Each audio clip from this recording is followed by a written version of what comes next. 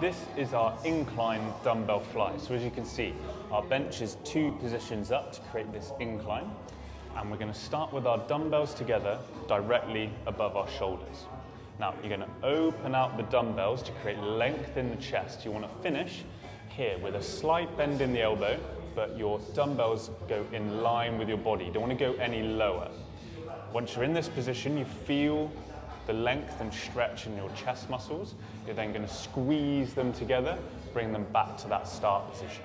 Head remains flat on the bench, feet set at 90 degrees, shoulder width apart. Squeeze your glutes to lock in your hip just to create that stable base.